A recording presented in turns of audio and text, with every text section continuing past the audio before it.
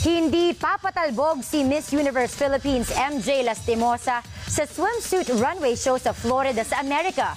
Mula Florida, USA, nagpapatrol si Don Tagala.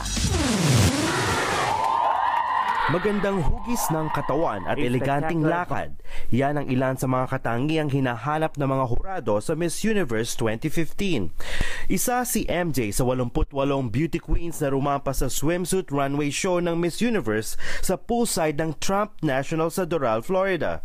At kitang-kita na taglay ni Miss Philippines MJ Lastimosa ang katangiang ito habang rumarampa suot ang two-piece Italian swimwear na ito.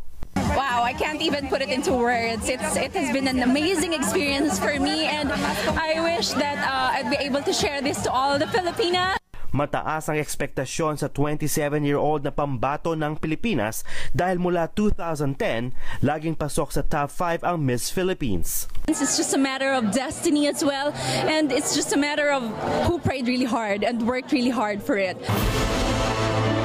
At sa 63rd Miss Universe live show sa darating na linggo, kumpirmado na ang pagdating ng celebrity judge na si People's Champ Manny Pacquiao. Mapapanood ang live Miss Universe sa January 26, lunes sa Pilipinas.